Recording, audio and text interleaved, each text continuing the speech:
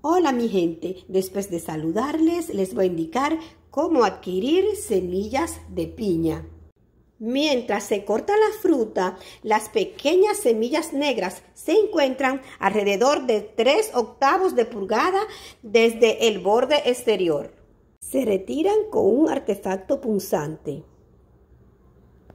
Las coloco en un colador para enjaguarlas.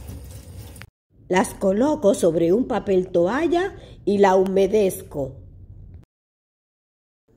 Cubro las pequeñas semillas.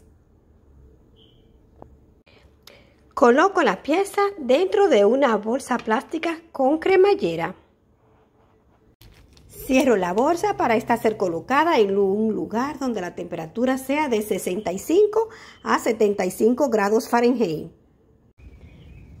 Pasadas varias semanas, así han germinado las pequeñas semillas de piña.